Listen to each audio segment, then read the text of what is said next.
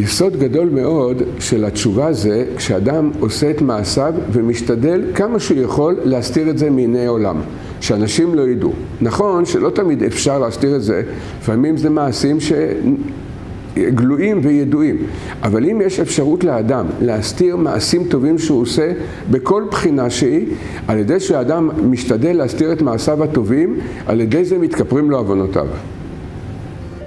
להקדשת השיעורים של הרב להצלחה, לזיווג, שלום בית, רפואה, לעילוי נשמת. התרומה עבור עזרה להפצת התורה. ניתן לפנות לטלפון 02-650-2929. תודה רבה ותזכו למצוות. הירשמו לערוץ של הרב ויישארו מעודכנים.